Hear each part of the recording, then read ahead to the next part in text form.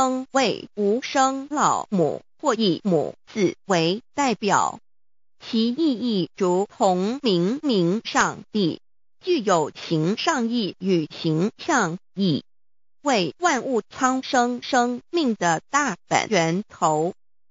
三界十方万灵真载至尊至圣无量心虚言其本体尊崇其位敬奉其德载主其尊用在万灵便不恒用在不无言为范其及形容其大说明其相明明上帝母字与母同音同义字形与父母字相近。母字的情义，一点中家中是天下之大本，代表体是阴阳，代表用